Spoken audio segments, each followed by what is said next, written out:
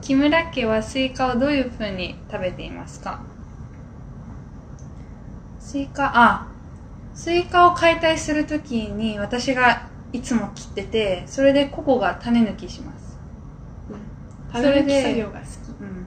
なんかこのままこうやって三角で食べるのも好きなんですけど木村家ではあの四角くあ冷蔵庫にちょうどあるから、出してあく。本当になしあ大丈はい。